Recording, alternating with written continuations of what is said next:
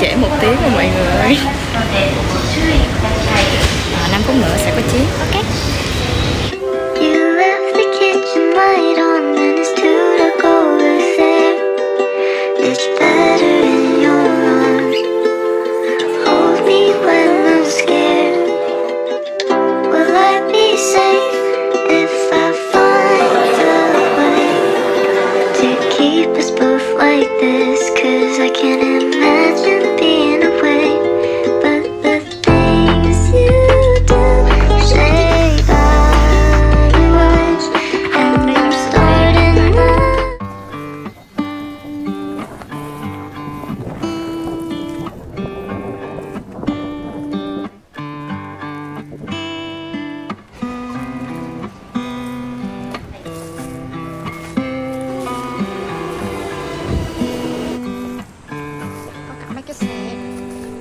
Bán đồ ăn rồi Ta-da! Đây là khung cảnh bên trong trường của mình. Mới vào thì mọi người sẽ bắt gặp đội tuyển bóng rổ của trường mình Toàn mấy bạn cao to vạm vỡ không à? Xong rồi phía sau sẽ là khu triển lãm của du học sinh Việt Nam tụi mình. Hôm nay tụi mình sẽ giới thiệu tới cho người Nhật uh, không khí Tết ở Việt Nam sẽ như thế nào. Nên là hôm nay tụi mình đã đồng loạt mặc áo dài hết Để cho người Nhật cảm nhận rõ hơn, cảm nhận sâu sắc hơn Về cái không khí Tết ở Việt Nam. Xong rồi sẽ giới thiệu tới cho người Nhật những danh lam thắng cảnh văn hóa ba miền Bắc Trung Nam Rồi uh, các món ăn đặc sản của Việt Nam nữa. Đó, rồi ngoài ra thì tụi mình còn tổ chức một cái lớp học nho nhỏ Dạy tiếng Việt cho người Nhật Để mà chỉ cho người Nhật cách đọc cũng như là cách viết chữ ờ, chúc mừng năm mới.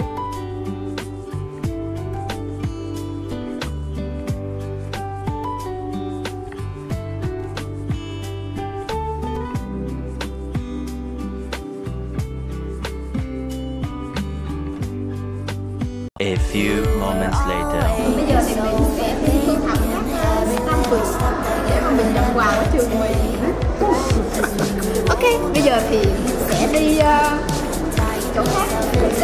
Mình sẽ sửa tem ở quầy nail cầm ngược hả hả cầm ngược rồi hả trăm trăm yên. Đây rồi idea của quầy ở quầy này thì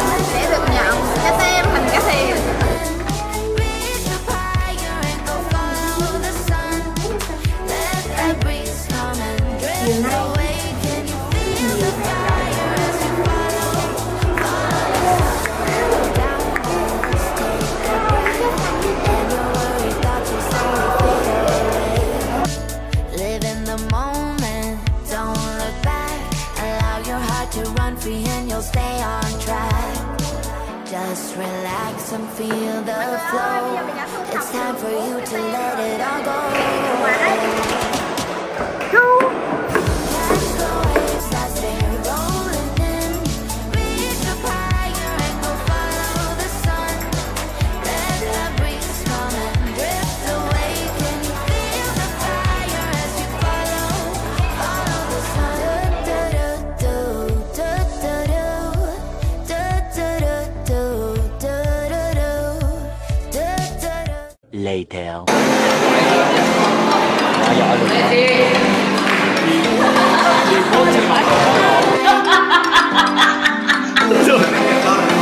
Dùng dưới thôi vô. Ủa cái này dễ.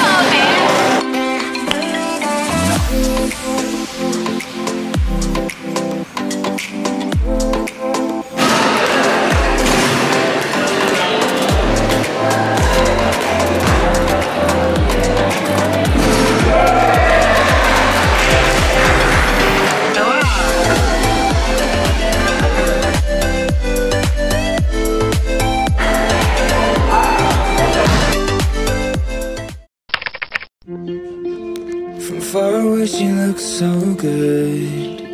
Grew up in the same neighborhood, and that's how to rub salt in the wound. Spend a few hours on the reservoir. Never broke a bone, so I'm gonna try hard to prove you wrong.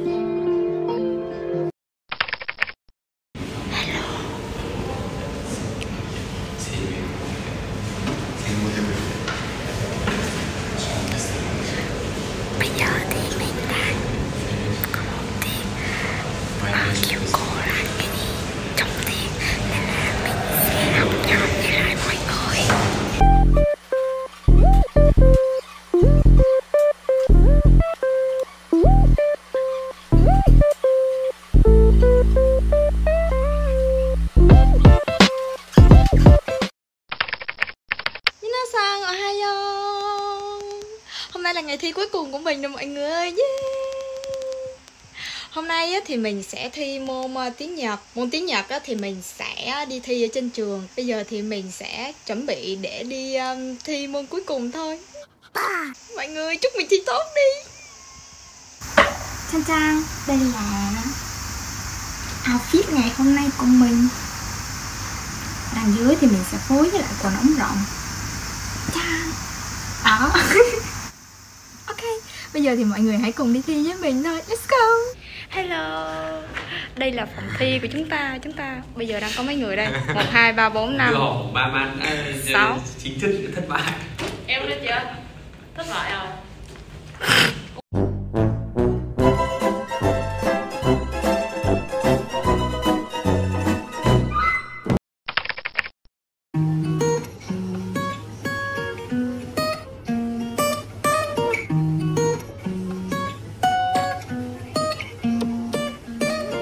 I wish you went wasted. Took my time, I don't know if I can face it. Didn't know you were gonna go and lace it.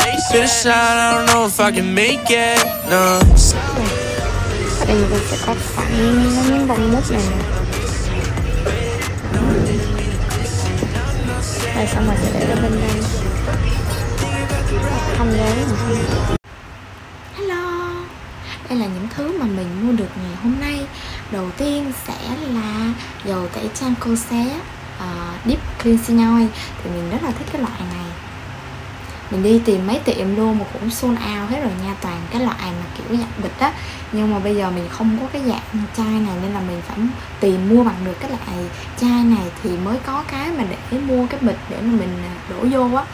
Đó xong rồi mình mua dung dịch vệ sinh. Nào mình rất là thích cái mùi uh, ui da nước.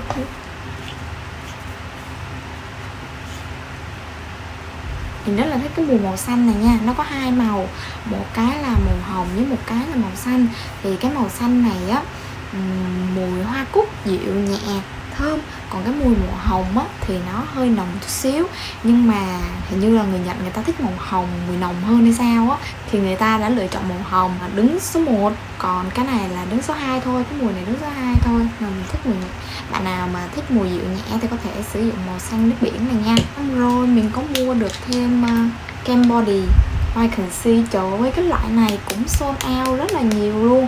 Mình đi tìm mấy cửa hàng luôn mà cũng không có nha Xong rồi phải đi tới một cái cửa hàng cách mình hai ga to là to luôn thì nó mới bán. Đây đứng vị trí số 1 bạn sẽ bạn Cosme này mọi người. Đó. Thì uh, chắc là trong video mọi người cũng xem xong á thì mọi người cũng sẽ thắc mắc làm sao mà trong kỳ thi mà thấy mình bình thản rất là vui vẻ như vậy nhưng mà không có đâu mọi người ơi. Mình đã rất là stress luôn á. Ờ, mà dù là học tiếng Nhật có bằng N2 rồi nhưng mà um, có những môn đó nha mình học mình đọc tiếng Nhật không hiểu mà dịch Google dịch cũng không hiểu luôn. Xong rồi phải dò từng từ một từng từ một uh, xem ý nghĩa của nó rồi uh, ghép nó lại thì nó sẽ thành một cái từ như thế nào đó nữa. Trời ơi! Tốn rất là nhiều thời gian và trong khi đó là uh, năm nhất của tụi mình nhớ viết báo cáo rất là nhiều luôn. Xong rồi mọi người còn biết gì nữa không? Thì uh, hôm đó mình mất ăn mất ngủ để mình viết cái bài báo cáo môn lịch sử. Xong rồi tối đó thì uh, chắc là cũng khoảng ba bốn giờ sáng gì đó cái là mình rất là buồn ngủ luôn mình sắp đau máy mình đi ngủ thì mọi người biết gì không? Kiếp nạn số 82 đã xảy ra với mình là mình bấm đông sao. Trời ơi sao mình có thể làm cái trò ngu ngốc như vậy rồi mình không thể nào hiểu nổi luôn thì làm mình bỏ dành cả thời gian nguyên một ngày để mà mình viết cái bài báo cáo đó. Mà xong cuối giờ mình tự hủy hoại bản thân mình luôn. Xong rồi tới ngày hôm sau mình phải viết lại mình viết ờ, mỗi ngày một nửa không mất hai ngày. Đó tại vì mình còn bận phải đi học với lại đi làm nữa. Có mỗi cái ngày nghỉ ngồi viết báo cáo thì tối bấm đông xe trời ơi từ đau đớn từ gục ngã. Đó uh,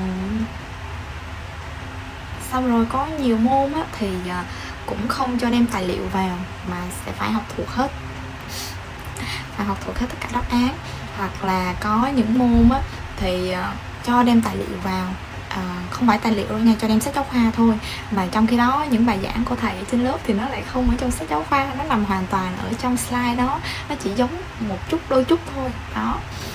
Thì nó lại thêm một cái khó nữa nói chung là um, không biết là kỳ này mình đã cố gắng hết sức rồi nhưng mà uh, cũng mong là kỳ này được điểm cao cao một chút để mà có thêm động lực học tiếp kỳ sau.